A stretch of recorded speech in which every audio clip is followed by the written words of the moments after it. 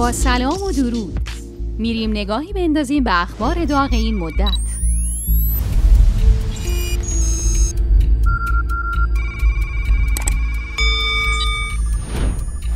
وزیر اقتصاد گفت مردم نیازی به پول نقد ندارن. خبر اینه که وزیر اقتصاد دولت سیزدهم در کمال پررویی گفت دلیل کمبود اسکناس در آبربانکا نیاز نداشتن مردم به پول نقده.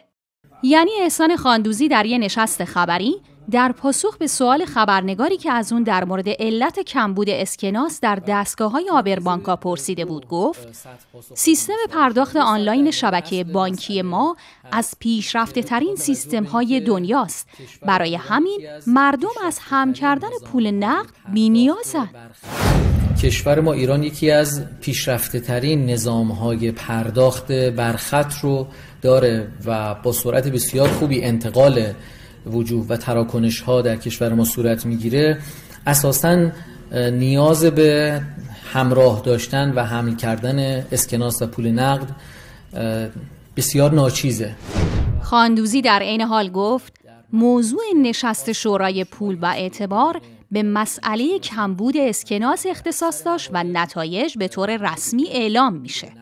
این وزیر اقتصاد متوهم در حالی نیاز مردم به پول نقد رو انکار کرد که در همین نشست گفت چک پول های دویز هزار تومنی به علت تأمین پول نقد مورد نیاز جامعه چاپ شدن و بانک ها ملزمن که ده درصد از پول نقد مورد نیاز خودشونو از طریق این چک پولا تأمین کنند. اما در لایه دوم بله به جهت وقوعی با توجه به مراجعاتی که در هفته ها و روزهای پایانی سال 1401 وجود داد و افزایش پول نقد انجام شده بود بانک مرکزی اولا اقدام کرد به انتشار چک پول های 200 هزار تومانی که مردم بتوانند با مبلغ بالاتری دریافت برای هر بار مراجعه به دستگاه خودپرداز مبلغ بالاتری رو دریافت کنن برای خریدهای خودشون. بانک ها رو هم مکلف کرد. بانک مرکزی که حداقل 10 درصد از وجوه خودشون رو از طریق همین چک پول های 200 هزار تومانی تأمین بکنن. همونطور که می‌بینی نه رئیسی می‌فهمه چی میگه نه وزرای کابینش این نوع رفتار مقامات و مسئولین حکومت ما رو یاد این مطلب انداخت. رولف دوبلی رمانویس سوئیسی در کتاب هنر شفاف اندیشیدن داستان مردی رو تعریف می‌کنه که هر روز رس ساعت معینی می‌رفته گوشه میدون اصلی شهر و کلاهش تو هوا تکون می‌داده. یه روز ازش پلیس می‌پرسه که چرا این کارو می‌کنه. مرد خیلی حق به جانب جواب میده که با این کار زرافه ها رو دور می‌کنم. پلیس با تعجب میگه ولی من اینجا زرافه ای نمی‌بینم. مرد هم پاسخ میده پس این نشون میده که من کارم رو درست انجام دادم. دقیقا مثل مقامات جمهوری اسلامی که رسما کارشون تکون دادن امامه برای دور کردن زرافه های خیالیه. هشتگ همینقدر شخمی تخیلی افتضاح دالایی لاما رهبر بودایی های جهان یکی از خبرهایی که تو رسانه های بین المللی دنیا سر و صدای زیادی به پا کرد افتضاحی بود که دالایی لاما رهبر دینی بودایی های دنیا در تبت به بار آورد. ماجرا این بود که ویدیویی از این پیرمرد 87 ساله منتشر شد که اونو در حال بوسیدن لبهای یک پسر بچه نشون می‌داد و از اون بچه تفلکی خواست که زبونش رو بمکه.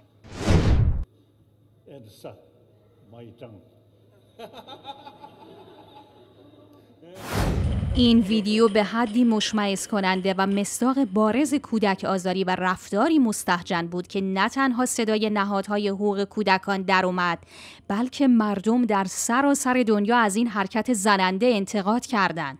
اما دفتر دالایی لاما با انتشار بیانیه‌ای در این زمینه تاکید کرد که این رهبر مذهبی 87 ساله از روی دادن این حادثه سخت پشیمونه و قصد داره که از پسر بچه مورد نظر و خانواده‌اش و همینطور افکار عمومی در سطح بین المللی عذرخواهی کنه. بنا به گزارش خبرگزاری رسمی این حادثه جنجالی در جریان یکی از گرد همایی های رخ داد که در معبد محل زندگی دالایی لاما برگزار شده بود. در اون مراسم پسر بچه مورد نظر از دالایی لاما پرسیده بود که آیا اجازه داره اونو بغل کنه؟ پرسشی که با پاسخ مثبت دالایی لاما مواجه شد و این بچه تفلکی فکر کرد دالایی لاما یه بابا بزرگ مهربونه اما خبر نداشت که دست سعید توسی رو از پشت بسته بعد از انتشار ویدیوی رفتار زننده و مستحجن دالایی لاما در وبسایت ها و رسانه های اجتماعی و واکنش شدید افکار عمومی و مردم دنیا دفتر دالایی لاما در بیانیه‌ای برای توجیه این رفتار مشمعز کننده اعلام کرد که این حضرت همواره با ملاقات کننده های خودش به شیوه معصومانه و بازیگوشانه شوخی می‌کنه ولو بر اینکه ملاقات ها در ملع عام و در حضور دوربین ها باشه. و البته به نظر میاد که تا الان همینطوری شوخی شوخی ترتیب خیلی ها رو داده. خوب شد گفتن. ما نمی‌دونستیم بچه بازی و آزار جنسی کودکان معصومیت محسوب میشه. پس با این تفاسیر سعید توسی قاری قرآن متجاوز معصوم اوله. رفتار دالایی لاما شما رو یاد کجا میندازه؟ بله حوزه علمیه. نتیجه می‌گیریم که هر جا حرف از دین و مذهبه یه مش رهبر دینی فاسدم وجود داره. به هر حال در جایی که بایدن آلزایمری رئیس جمهور بزرگترین قدرت دنیا یعنی آمریکا بشه و پسر پدوفیل منحرفش با هواپیمای شخصی ریاست جمهوری بره تعطیلات عجیب نیست که یه مریض جنسی هم بشه رهبر بودایی های دنیا و از همه بدتر. جایزه صلح نوبل هم بهش داده باشن. بارلاها ما رو از شر دموکرات ها، گلوبالیستا، ادیان و رهبران فاسدشون نجات بده. هشتگ واقعا دیگه این دنیا به درد نمی‌خوره. باز هم رادان قهوه‌ای شد.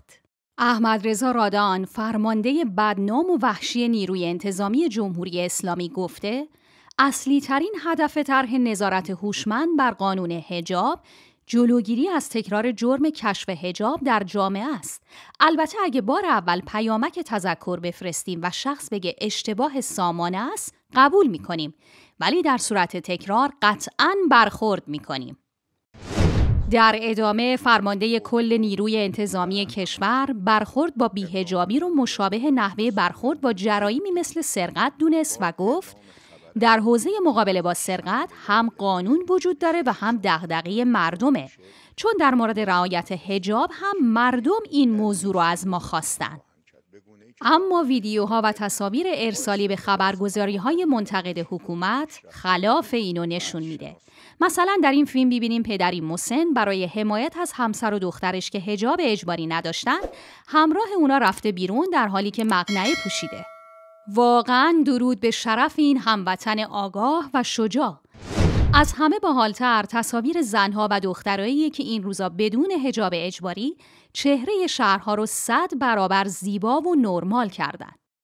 بنابراین اسکار بهترین ویدیوی هفته می‌رسه به اون پدر دغدغ من که برای نشون دادن اعتراضش به حجاب اجباری مقنعه پوشیده و اسکار بهترین عکس هفته هم می‌رسه به تصویر دختری که به حرف رادان مبنی بر برخورد با بیهجابی از روز شنبه اینطور واکنش نشون داده. هشتگ دمشون گرم در ادامه یه چند تا خبر ریز هم بگیم و بریم. پارابیوسیس یه نوع روش انتقال خون افراد جوون به سالمنداست. یعنی روشیه که ثروتمندای خیلی خاص برای اون پولهای هنگوف پرداخت می‌کنن تا عمر خودشون رو هی بیشتر کنن. چون اعتقاد بعضی از محققان اینه که وقتی عناصر بدن کسی که جوون و یا کودکه از طریق سیستم گردش خون با فرد سال خورده به اشتراک گذاشته بشه باعث بهبود علائم پیری و در نتیجه جوانسازی سلول ها میشه. حالا فهمیدید چرا آخوندای جمهوری اسلامی نمیمیرن بلکه از ماده به انرژی تبدیل میشن برای یاوهگویی؟ نمونه هم آخوند فسیل، احمد جنتی و حتی همین خامنه ای رهبر حکومت ایران که بارها گفتن سرطان پروستات داره اما متاسفانه سقط نشد و روز به روز هم رنگ و روی شادابتری پیدا می‌کنه چون اینا با خون جوونامون زندن هشتگ حکومت خوناشام ها بازنشسته معترض معلم ناراضی تا الان کجا بودی؟ این روزا از گوشه و کنار ایران خبر می‌رسه که تجمعات اعتراضی بازنشسته ها، معلما و کادر درمانی بیشتر شده. بر اساس گزارش ها تعدادی از بازنشسته های اداره مخابرات یزد در اعتراض به مطالبات معوقه و اجرا نشدن آیین نامه 2489 و اعتراض به خصوصی سازی ناقص شرکت مخابرات تجمع اعتراضی برپا کردند.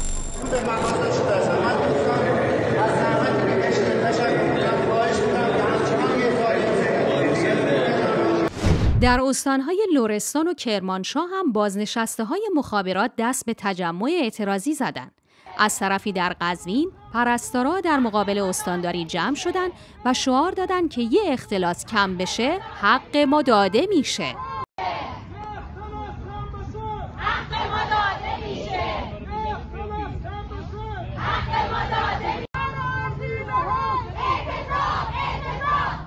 باید به این عزیزان بگیم درسته که خیلی هم خوبه برای حقتون اعتراض می‌کنید اما در طول چند ماه اعتراضات سراسری که جوانها کف خیابون در آتش و خون بودن و مدام تقاضا می‌کردن که به اعتراضات و اعتصابات ملحق بشید تا پیروز بشیم اون موقع کجا بودید؟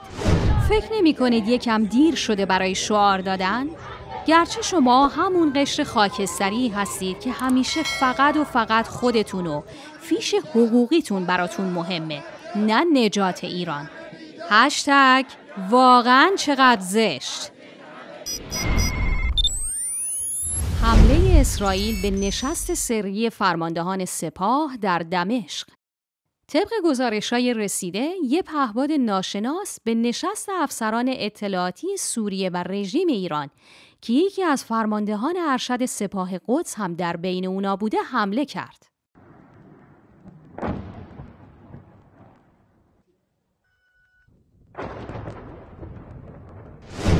این حمله در منطقه یافور در حومه دمشق اتفاق افتاد. هدف از اون بمباران مقر جلسات در حومه دمشق و ویلای متعلق به ماه رسد برادر دیکتاتور جنایتکار سوریه یعنی بشار اسد بود.